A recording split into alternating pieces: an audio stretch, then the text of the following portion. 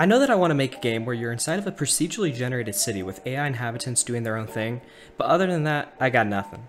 That is why I went to ChatGPT to find a more detailed idea. For those of you who are living under a rock and don't know what ChatGPT is, it is basically a really smart AI model that can do some really cool things like answer any questions you might have, write your school essays for you, and even write some code for you. So with all of that in mind, I went ahead and asked ChatGPT for some game ideas, and surprisingly, after only a few questions, I actually found an idea that I was really in love with. The idea that I'm going with is going to be kind of similar to Grand Theft Auto, where you're part of a gang and you start with zero reputation, and then you need to build it up by doing illegal things like robbing banks, mugging people, and taking out rival gang members.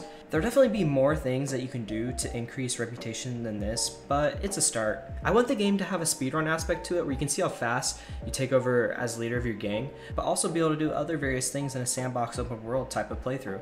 This is obviously a very broad idea, but that's fine, as I'll definitely be thinking of really cool ideas as I develop the game, and hopefully you guys can offer up some interesting ideas as well. Also, before I get into anything else, I should probably introduce myself. I go by the name Octa Online, and I've been making small video games on and off for around the last two years. I'll put my itch.io in the description for anyone interested in some of the small projects that I've worked on. I'm also currently in college for computer science, so programming is definitely my favorite part of game dev, and I'm just really looking forward to working on this game and documenting it here for hopefully the next year plus. With that being said, I've been hard at work for the past couple of weeks, so let's get into it. So the first major goal I have for this game is to create a randomly generated city with people walking around and driving around, making it feel as lively and realistic as possible. The first step to doing this is creating the algorithm to generate the city. First, I worked on making a road layout that is kind of random. It isn't the most random layout in the world, as I want the road layout to be as realistic as possible without there being weird crossroads everywhere, but I will definitely improve on this in the future. Next, I wanted to import this code into Unity so that I could see what it would look like more clearly. I also wanted to add blank green plots everywhere where there could be different types of buildings, parks, etc. As you can see with the crossroads, they're all four ways, so for any of the um, cases where there would be a two-way or three-way crossroad, they do not look correct, but that's something that I'll definitely fix in the future. Thinking about other high-level features of the city, I do I wanted there to be different districts. To start, I added four randomly generated districts, one main city district, a suburb district, and two gang districts. The city district will have things like buildings that you would see downtown in big cities. The suburb district will have a lot of greenery with a lot of family homes, and the two gang areas will be run down areas with a lot of warehouses and worn down buildings. One of the gang areas will be where your gang resides, and the other will be a rival gang. The images that I'm showing are some examples of the assets I'll be using for this hefty job from Synty Studio on the Unity Asset Store. They have a low poly look, and there are plenty of prefabs that will allow me to have a city that will look adequate enough without any 3D modeling on my end. Fortunately, it wasn't very expensive as I've accumulated most of the assets from bundles in the past. Taking a look back at the districts, here are a few examples of the randomly generated layouts.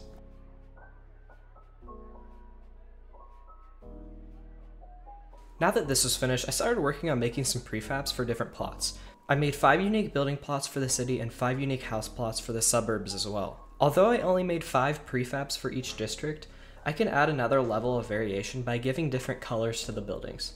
This was very easy to do as Synty Studio gives you many different materials to work with. Before I populate the world with these prefabs, I want a character to walk around in and a vehicle to be able to drive the streets in so that I can get a sense of what it will look like when I'm actually playing the game.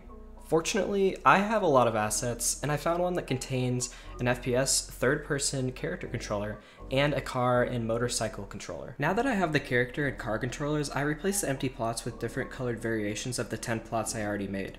Already, the world is starting to come together, and I want to add many more prefabs into the game in the future. Oh yeah, another thing to mention is that right when I got to this point, it was super laggy. It would be at around 20 to 10 FPS when looking at a lot of buildings, and to fix this, I did a few things. First, I made three different LODs or levels of detail for each prefab in the scene. At first, without the LODs, I had upwards of 40 million vertices being rendered at one time, which is a lot. And now that number is down to no more than 10 million, which alone is an amazing performance boost. I also added fog to the scene to add some depth and hide the low detail buildings in the background.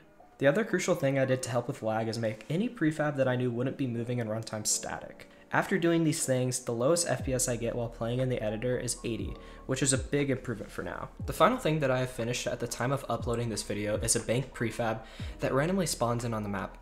This was different from spawning in other plots as instead of taking up a 1 by one space, it takes up a 2 by 3 space. So I had to create logic in the procedural generation script that will be able to spawn different types um, and sizes of prefabs.